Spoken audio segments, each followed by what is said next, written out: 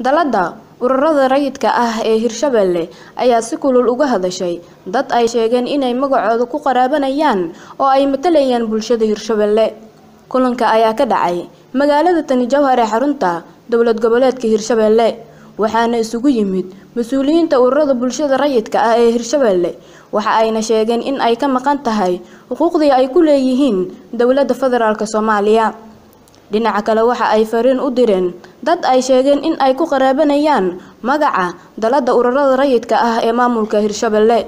Baryahan waxaan maqlaynay gacan tabaaleyn ku dhex jirta ururka oo docodocayn dhanka muqdisho nooga imaanaysa. Taa ayada in aan maxaan ku rahda shee ka digna waxaan ugu digaynaa ururka irid laga soo galo uu leeyahay.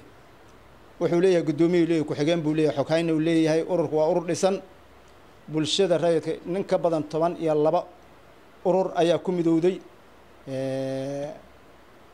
Ururkan maxaan ku rishay bulshada rayidka ah. In intaas in laga tillaabsado oo doco laga soo maxaan ku rishay galgala. Waxaan yeelayna maaha wax noo qalmana maaha. Baaq maamulka degmada maamulka gobolka stateka hirshabeelle madaxweyne cali guudlaawe xuseen yacnii dadka ay maaragtaas markaas ku matalaan oo mas'uuliyiinta ay u yihiin in ay soo jeedaan. Mar walbaba ayaan daraha inna lagu qaraabto. Haddii aan maxaa la jiri daladii bulshada rayidka naafada bulshada rayidka oo hirshabeelle. Inta dad suuqa laga ururiyey magaceenna ay sheegtaan waa ayaan daro waa ayaan daro waana wax loo ogol yahay waaye. Anu war ma qarqariyo. Cid aan dan weji ka leeyahayna ma jirto oo aan ilaahay subxana watacaala ay ahayn.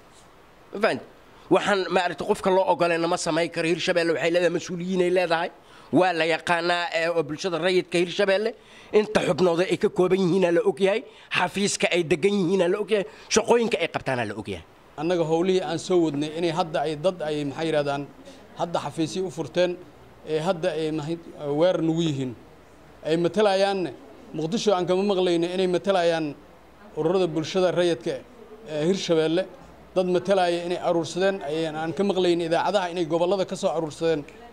Annaga haddii aan xafiiskii hirshabeelle aan joogno magaalo madaxdiina aan joogno cid maxaa yidhahdaan nalaga matashi oo meeshaas naga tagtay malaha walaa guddoomiye walaa degmo walaa gobol. Ururadeenna cid ka baxday oo meeshaas matalaysa ma jirto.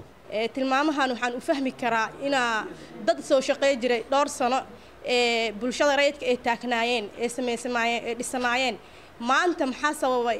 Haddii doorashadii soo guda gashay in qolo kale isoo aas-aasto ee dhahdo bulshada rayidka waa anaka. Arrintaas waa arrin aad iyo aad u foolxun.